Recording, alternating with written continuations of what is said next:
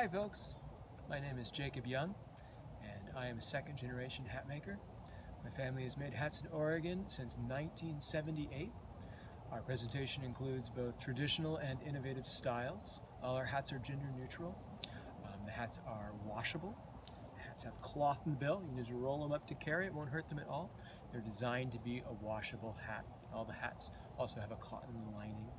Um, yeah, and they adjust to size as well. So, um, welcome to the hats. In this video, we will be going over uh, my father's original design called the leaf Corps hat. Um, and there is two kinds of leaf Corps hats, the winter leaf Corps and the summer leaf Corps. Um, this is a winter leaf Corps, this is a summer leaf Corps. We'll start with the, the winter leaf Corps. So here it is. Um, you can take this band, so it's a double layer, you can unroll it, cover your ears,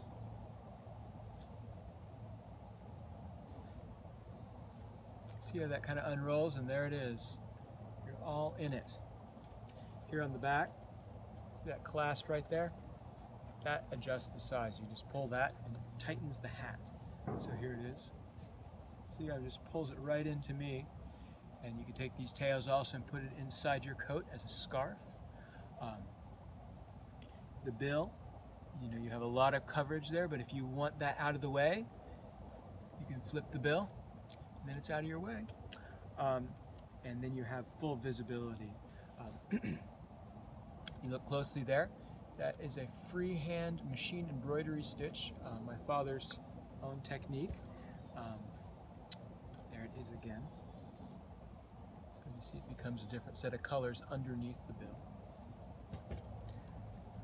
And uh, yeah, this is based. This is this is kind of based on you know the kind of the, a fairy hat or a kind of a whimsical thing. You know, it could be a Robin Hood hat. It has that that whole thing as well. You know, so many of our styles are traditional styles. Um, you know, like a uh, well, here we go. Here is a newsboy cap, right? And here, this is like a Greek fisherman's cap. And this is also a human tradition, but it's not connected to a particular thing or a particular chunk of history the way these styles are. To me, instead, it's the pointy bill hat. And the pointy bill hat, it could be any number of things. You know, an elf hat, a fairy hat, Robin Hood. Has a nature spirit kind of vibe to it. But there's a functionality to it too. You have a lot of you have a lot of protection, but it's also streamlined. You can do different things. Um, so yeah, it's, it does a lot that way and connects with certain people in a very strong way. Um, the wool in this hat we will whip moisture to a certain degree, but even, even if it gets wet through, it'll still keep you warm. Let me show the cotton lining on this one here. So yeah, you don't have the wool against your skin. And the lower band there is cotton as well. The inside lower band is cotton. Um, here on the top, see there's a little loop, that's the acorn top. You could tie a tassel up there or feathers or a bead, or you could just leave it as it is. This has to be stay as part of the structure of the hat but you do have the option to put stuff up there if you like. Um, here is the leaf Corps hat, is the winter leaf Corps hat as well with the tail on the top. The tail is what is usually on the summer leaf Corps. Um, with the tail you can tie a, a, a, knot in it and put a feather up there if you like, that works well. How I do that is I make a knot like this, and then I put the stem of the feather in there and then tie it tight, and then this, the feather lays very nicely. So yeah, there's those ones. Now let's go into the summer leaf Corps.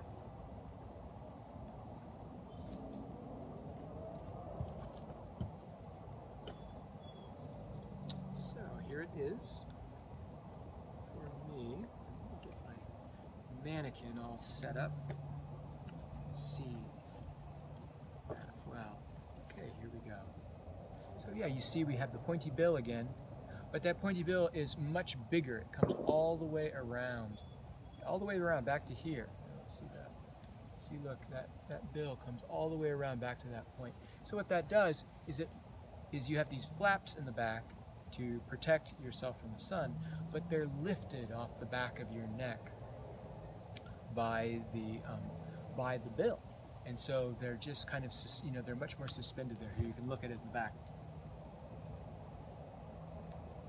So it's not really resting on me. it's not really resting on my shoulders, but it is protecting my neck from the sun. Um, then, here in the back, you've got that knot there. You could uh, you can tie that tighter and it will adjust the size, or you could untie that and tie it under your chin. Let me try that for you. So if you were on a boat and you wanted to make sure that you kept your hat secure, you could do that. And um, yeah, the other thing with these is the this bill is so big you can do interesting things. You can flip it right. See how that flip, how you got all that kind of difference in the pattern there. You can also do a subtle flip like that. Just do a little bit of a curve, and that could be fun.